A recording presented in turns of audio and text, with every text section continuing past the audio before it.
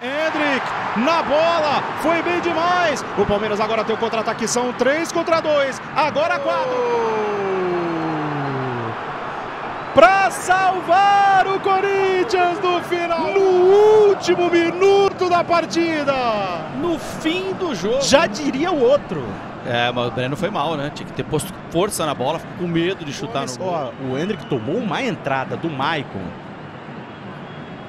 Maicon, obviamente, deu entrada para parar o, o Não, mas o aí não tem, mas aí o árbitro sai da cartão. Então, né? até os 51. E se ele olhar o lance do Maicon, ele vai expulsar o Maicon.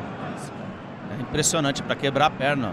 Essa entrada é muito forte. Se o Hendrick tá com o pé no gramado, ele quebra, a perna. Exato.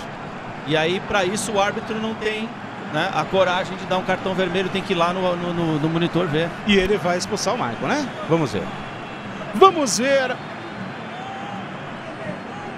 o que o Daronco vai fazer. E o Maicon sabe, né? O Maicon sabe. Tá expulso o Maicon. Os dois times agora com um a menos. Tá fora do próximo jogo.